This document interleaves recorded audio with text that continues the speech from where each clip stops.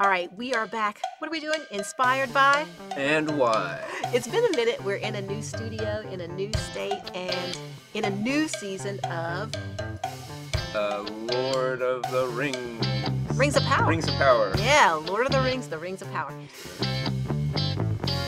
I liked it a lot. I want to speak about the music because when High King Gil-galad thinks that the elves are going to have to get out of Middle Earth and he's doing this farewell gathering to let everybody know we got to go, he has this beautiful solo. And we didn't know if the actor who played him, Benjamin Walker, was the one who sang, but whoever did just bodied that singing. It's beautiful, mournful solo a cappella and conveying all that sense of loss. And people think they're not only leaving a place they've called home, but they're leaving others behind who will be harmed. Right. It just really captured it. Ah, beautiful stuff. It's good. And- And, also the, um, I mean the, uh, it just it just also reminds me of the uh, shows like this. They have they have people who write the language. Yeah. For these for these different, you know, alien races or you know different worlds. Yeah, Tolkien, I think, created something for this. Oh, okay. This was an original Yeah, I'm- language. I'm pretty he- sure it's one of the things- Okay. So I he's like the, one of the like godfathers of when you're going to do fantasy, go deep, make a Right, language, do a right, whole right, right. thing. Okay. Uh, yeah. Okay. Cool. I, I didn't I didn't realize that he had created that because there was a lot of, you know, like I, like I, I was thinking like he might have you know done some words or some you know places or you know like for the language, but I didn't know he created like the whole language. But um, I'm not saying that But yeah. people didn't fill something in. It's just that I think he's known to be one who people Right, just want to right. emulate in terms of oh, thorough world building. absolutely, yeah. and so you like the language. So when. Mm-hmm. Elrond and Galadriel, for instance, are having their conflict about what should be done with the rings once they know Sauron has been influencing their creation, uh, they used bits of elven language to sort of punctuate things. Say, like, that's our home language. Like when you get Mhm, really mhm. intense, Yeah. your home accent comes out, or you go to your mother language Yeah. to say it. And it was like, okay. So we got a little bit of uh, reference here pulled up. A friendly old Wikipedia saying that there were languages constructed by J.R.R. Tolkien. He created a large family of Elvish languages. Got So okay, there are many, and and again, just in reading, I was telling you that I've been reading about the stories. Uh, I had read years ago some Tolkien, not what is in the Lord of the Rings, Rings of Power right. but I do have some familiarity, and I haven't read his work for for years, and so I was just trying to catch back up on the world building in general, so yeah. I could follow along with what's going on. And Right. also, when there's action like they have, Mm-hmm. I need to look ahead at who's being threatened and what might happen because I'm just worried for everybody, and not and not except Sauron. I'm not worried for Sauron, but he he was rendered in a way that made you see his journey as not pure evil every second in the season two opener. right. I thought that was wonderful to have progress the story, then stop, go back, and give you it from the villain's point of view. Oh, that's a good way to do a season opener because we are familiar with things, so you're sort of recapping us, even though it's not a recap, Right. but you're giving us stuff that we haven't seen in that light. So Mhm, well done. And I know other stories have done this too, but just good use of different uh, strategies to fill out the world and then zoom us forward. Um, since it's been a gap of a, several months since we had season one episodes, I'm excited. We're going to talk more about the other episodes. When we have this conversation, though, we try to talk about the acting, the music, spiritual connection, the writing.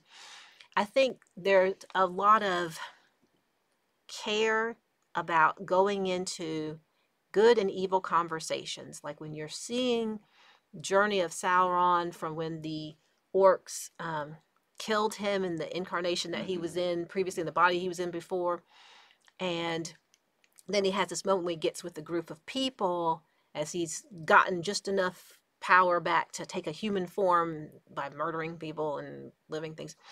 And he's presented with this person who's trying to say, hey, you can turn your life around. And they're making a pitch to him about you can choose every day to be good. He absolutely does not choose to be good. But he, for a moment, you see him considering. Mm-hmm. That's about as well as you can handle, I think, giving us layers of complexity with who's supposed to be evil. Like this is Sauron. This is non-negotiable like evil. And so for those who have read how Sauron has been written, correct me if I'm wrong, but I think he's not supposed to have a whole lot of great redeeming qualities here. I don't think so. It's not like excuse me. Wicked or anything, you know. It's like it's not. He's not just misunderstood or you know. Yeah. So No, and there's a Yeah. very understandable logic to his world domination. We've heard this for lots of villains. Let's end all war by everyone being under my control, you know. yeah. So people can follow that logic, and it's not like we haven't had it thrust in our faces as justification for horrible things. Yeah. But I appreciated taking some time with his journey. As far as the writing Yeah. goes, I think people are using the lore that Tolkien presents, Mm, taking care with the good and evil that we go to fantasies to Mhm. struggle with, and then giving us humanizing, well, not humanizing, but just giving us a connection with the orcs mhm. because they don't want Sauron for leadership. They knew he didn't care about them. They tried to overthrow him a couple times before they stab, stab, stabby, stab, stab. Right. When so, when somebody says, "Look, I'm your only choice," They don't. They don't value you. They don't value. They're trying to demean you. That's right, like right, right. you. You think you just want to live in peace. That's the sort of perspective here. The orcs just want to do their thing. Why do we have to go to war with everybody? We just want to be over here. They'll never accept you. Well, maybe they will. We have to Just like maybe you stop talking for us, and maybe we can find some peace. You know, you the you the mouthpiece causing the problems. So that was wonderful to see, to really care about the orc perspective, because we're just perceiving orcs in previous tellings of Tolkien's and other people Mhm. who write orc-like beings into what they do Right.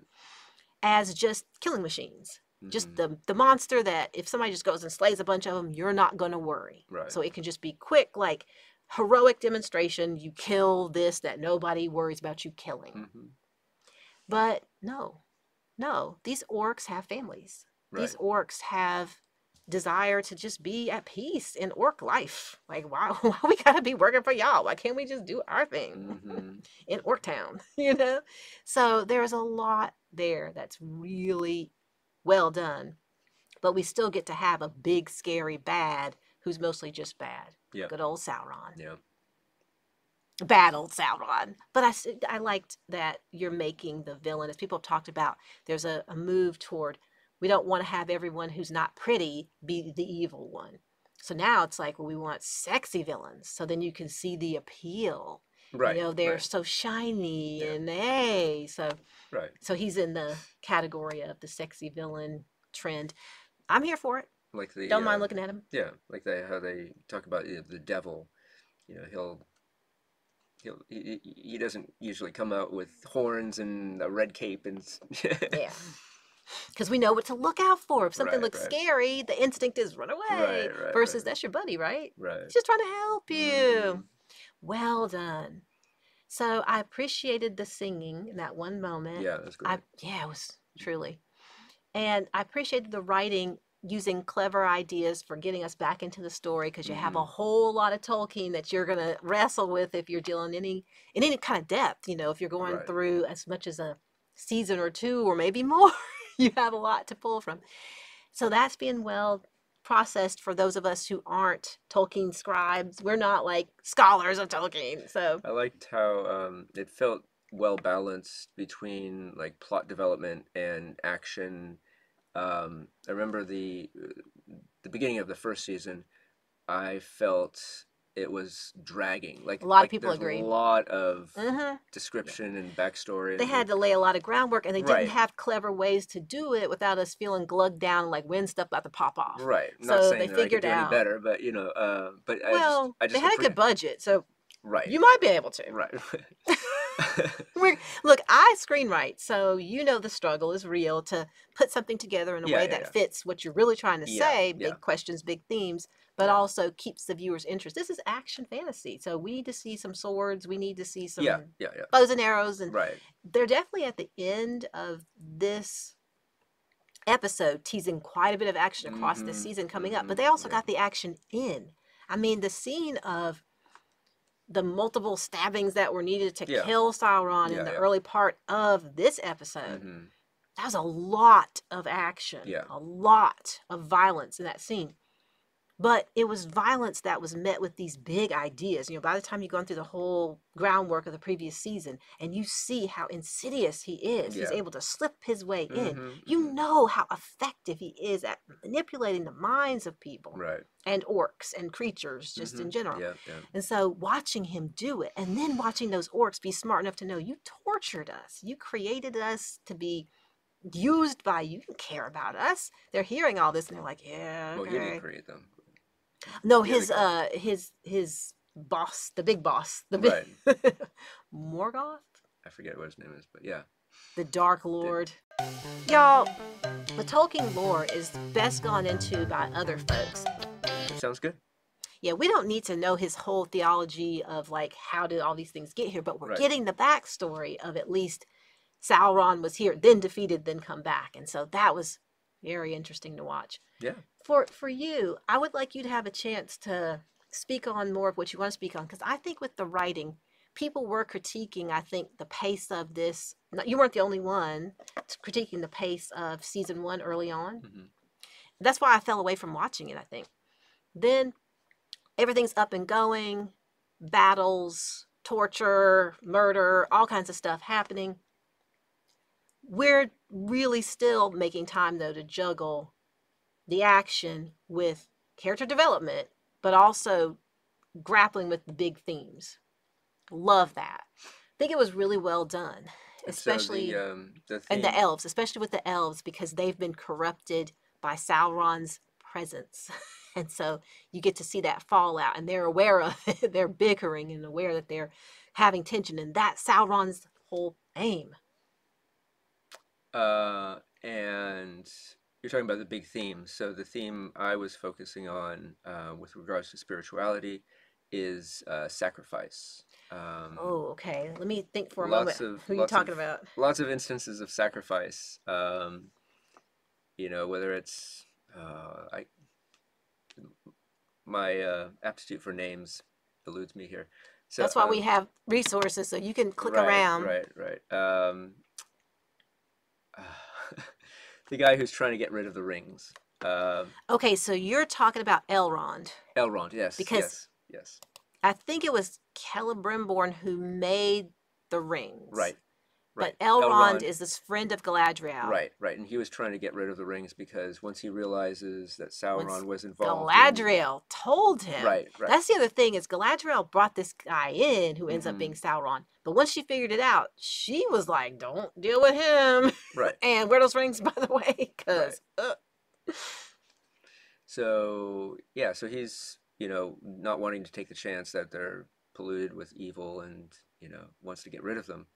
Um, you know, willing to sacrifice yeah, so much. because the not High only King, himself, but you know, his friendships and the fa- the community, the Elven community. right, right, and uh, eventually all of Middle Earth. You know, if because Well, they go down either way in his mind because he's thinking we got to fight back, but we can't use the enemy's tools Right. because they'll probably play into the enemy's ends. right, And so he's thinking, okay, well, if but we have otherwise the the elves would have to leave, leaving Middle Earth vulnerable. Yeah, so Yeah, and I gotta say that's the part that seemed pretty obvious that that was going to be a central thing to struggle with, and I Right. guess I needed a little less time on that because it was just an obvious point of like, do you use this tool that you know it's Right. powerful Right. when it can get out of hand? right, And it was just a very clearly presented point. Right. and so I didn't need as much time with it, but y'all may have appreciated it.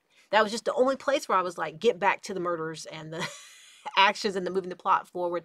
And I appreciated moving the plot forward with the stranger and our friendly Harfoots. Um, that was I, I didn't find that to be a departure that I didn't want. I wanted to not lose track of them. So they're in they've now managed to get to Rhûn. So I don't think I just need a bloodbath all the time. It's just that I felt like when some themes are so well explored, I don't Yeah. need them to be explored so very much. You talking about the rune? No, yeah, weren't they toward the end? No? So Okay. what we're doing here is talking about the highlights. What we're doing here is trying to get through a chat about this. And inspired by I'm going to be writing movies. And the next project I'm going to work on is not actually going to be fantasy, but I am going to revisit one of the fantasy scripts that I wrote. So when I'm thinking about this, I'm loving the action. That's one of the things I'm inspired with this is to pull more action sequences in. They're unafraid to do that here and just you have visceral, very realistic action, and then magical bursts. And the magical bursts don't feel like fairies and elves. I mean, there are elves, but the magical bursts feel in your face, like magic requires, like they said, any creation requires some sacrifice. People also in other stories say, you know, magic requires sacrifice. Mhm. So that's what I'm inspired to do with my own work is see if I can put some more action in. So the stranger, Nori, and another friend of hers uh, from the the Harfoot community are finally making it to Rhûn, where the stranger is thinking that he's gonna uh, probably recover some sense of who he is. It just he's still trying to find his way. What a gripping thing to have so much power and not know what it's for exactly and Mhm. who you are in relation to that power. Are you wielding it for good or evil? Right. It's such a fantastic character they've got there. Yeah. There's absolutely. a lot they're but I don't think they lost track. I think we didn't get anything from the dwarves right now, but that was fine Yeah. yeah, yeah. because we're talking about these big powers coming together and right now we need to see the stranger because he's another big factor Mhm. and then they they decided to you know center in where they did i thought that was really well done I- Yeah. i'm i'm just i'm in you guys like i think it did its job it's like hey get back into this world and i'm like there's two more episodes that are already out when can we watch them so yeah, yeah, yeah, yeah. It's it's sort of uh, yeah. I'm I'm finally sort of, well, not finally. I mean, halfway halfway through the other season, I started getting into it. But you know, it's it's it's nice to have a good a good jump to the season that's uh, pulling me in. So it's good.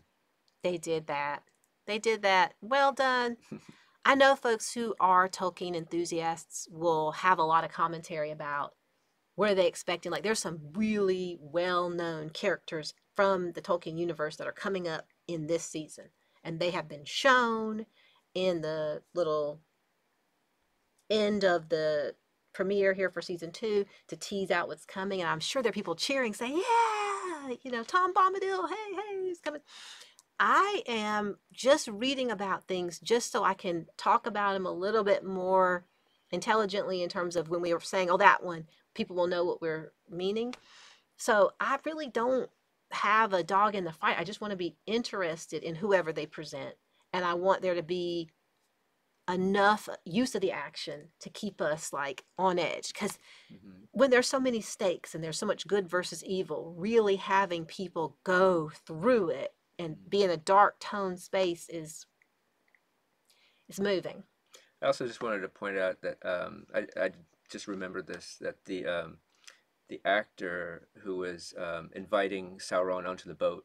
You know, he's like, you can choose good or evil. Oh You know, yeah, yeah, we were talking about that. Yeah, um, he jumped out at me as his acting was really good. so good. The writing for him was so good. Yeah, yeah, and it's just you know he's this. So good. You know, there are no small parts, only small actors, right? No, Like, that was a pivotal thing. that yeah, it he, was, He it actually gave you a pivotal delivery. Yeah, yeah, yeah, and and it just uh, Nicholas Wood Woodson? Woodson, looks like Nicholas Woodeson, Woodson. Woodeson, Woodson, yeah, that Anyway. looks like who it is. Mm-hmm.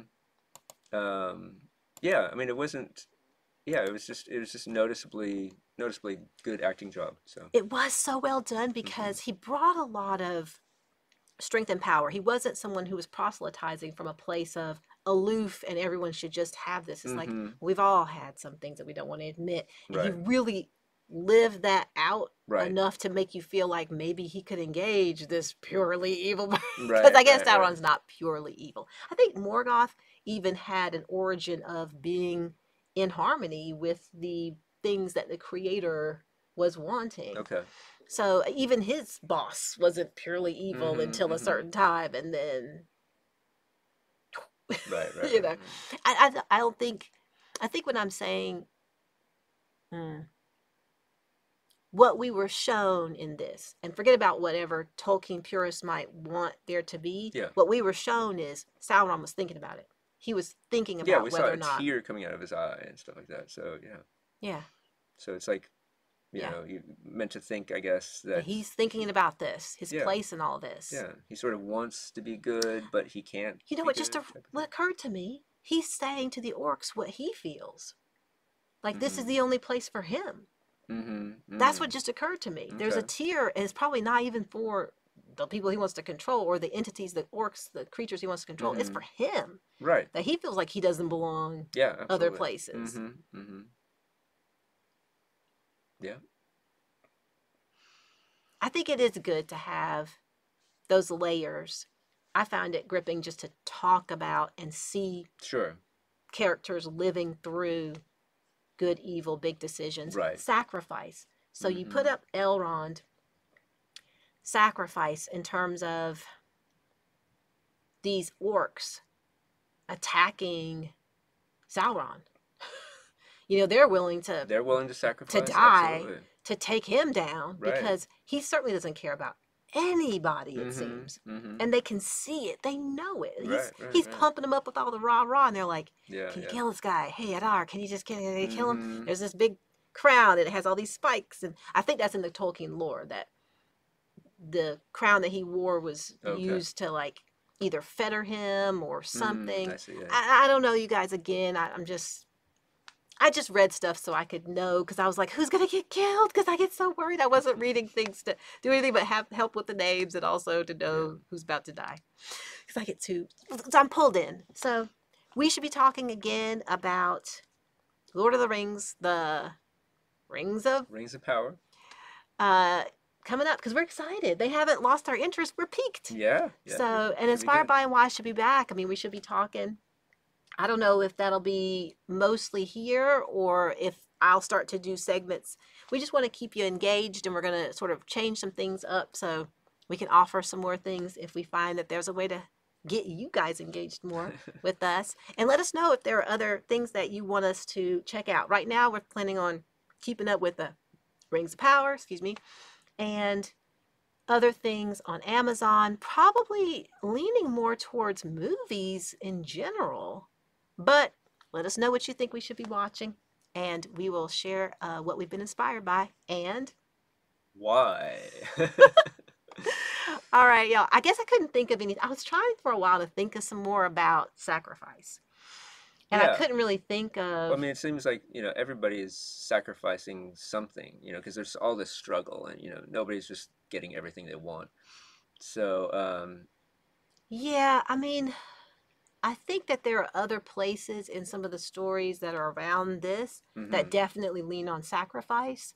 I'm just thinking about this episode in particular. I Like you mentioned, yeah, I mean, well, yeah, I mean, in, just in El- general, I guess and- Elrond. You mentioned Elrond, right, right. and then I was thinking about the orcs who are the like, orcs, yeah, you know, they- stepping they- up even though they know he's so Yeah, powerful. the he- guy, they go down. the guy leading the orcs is sort of you know sacrificing some orcs for all this battle stuff because you know he knows they're gonna a Yeah. lot of them are gonna die. So, um, and he you know he thinks of them as his children. So it's like you know Well, there's the shorter term sacrifice for his larger end when Sauron is letting himself be tortured and do all this stuff to try to insinuate himself mm-hmm. in the spaces that he wants to be in. So there's lots of short term sacrifice right, right, of right, comfort and Right, safety so right. he can manipulate and Right.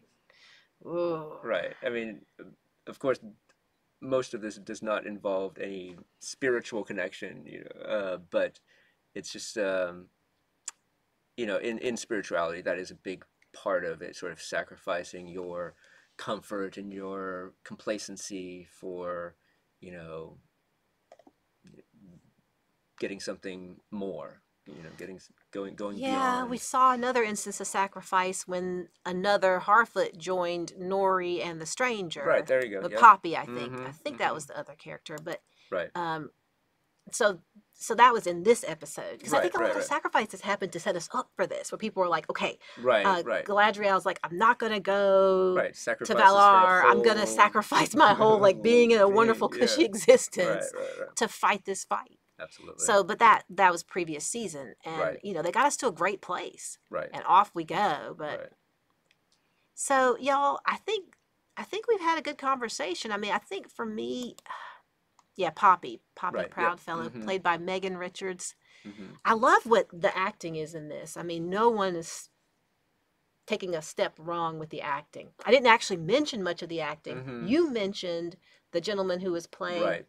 the character who had this wonderful monologue about you can change. Yeah, yeah, yeah. And I, I love that. hmm That was a great, mostly monologue. I don't think Sauron's character said that much back. It was a, Yeah. a little bit of a conversation, but there was just so much that that gen- gentleman right, got to right. relate. And that was great acting, but really the writing stood out for me. Yeah. But with uh, the stranger's character played by Daniel Weyman, hmm um, he says now more because Right. he's sort of plugged into language and plugged into a bit of social reality and he's getting some more flashes of his memory back. So Right. he's popping out these little wise phrases, but there was just a lot in his face. Like he was really bringing you so Mm, much mhm. without saying much at all because he previously didn't have command of language as much as he has now. Right, right. So right. his acting remains riveting because they still Right. give him a lot that's unsaid because he's trying to sort out what in the Mhm. world hmm is happening Right. that he can do Yeah, yeah, yeah. so much here. Okay, I think we had a great conversation. Yeah. I think we we got the connection to spirituality, yep. environmental stuff. You know, it's sort of interesting that we have this laying waste because of evil. There's there's some of Mhm. that that goes on. Yep, yeah. Yeah, that when uh Sauron dies, his evil like explodes all over. It's just like Right. boom, kills off a whole bunch of vegetation. Just boom, Right, that's it. right, right. Um, yeah, There's that. there's that as far as an environmental Right. connection. Yeah, and like you know the orcs, they you know wherever they go, they just trash the environment. Is that Yeah. really an orc thing, or is that them being always in war because they're being sent out places? Right, right. Because I'm really loving this development of orcs. Like they are creatures who aren't always just wanting. They're they're hungry. They need a place to be. Right, They need right, food. right, right. Like every other creature. hmm And they're being tortured to be created Right, and then sent on missions right. of destruction and then right. not being allowed to just be at peace. hmm So mhm. I, I think it's more It's a more function the, of the war, battle. Yeah, yeah, yeah. more a function of their leadership. That's what I'm putting out right, there. Right, right, right, right. But again, maybe I'm just not picking up as much as I should just from watching. Because mostly, like I said, I'm going off of mostly what is being shown to us. Yeah, yeah. Compassion for orcs. All right. It makes it more complicated. Orc like live- it. Orc lives matter. I was going to try not to say that. Okay. All right. Well, But, you know, why should we be telling tales that are supposed to be teaching us things yeah. if we don't want there to be the Right. more realistic Right. Many layers in Mhm. a conflict? Yep. Just because I'm on this side doesn't mean the ones on that side are pure evil. Right. Even if they're doing something that harms what I'm trying to do, I may be frightening them with what I'm. So, Right. yeah. But I think that's where fantasy can be a lot of fun is we enter into it with the rules established as opposed to real life where we know we're coming in and we have a bias based on the bodies we're born into, the cultures we're in. Right. Fascinating stuff. Okay, y'all. Take care. Bye. Oh, and also enjoy our conversations about some other fantasy series. Oh, We talked about Outer Range. outer range for sure. Yeah. Wheel of Time may have been before we started Inspired by Wild. We Yeah. We should get back to that. Yeah, so yeah, yeah. check out our other conversations about fantasy that we've had on here. And uh, I'm looking forward to Wheel of Time coming back. Yeah. Yeah. It's going to be a while, I think, right? All right, y'all. Take care. Bye. Bye.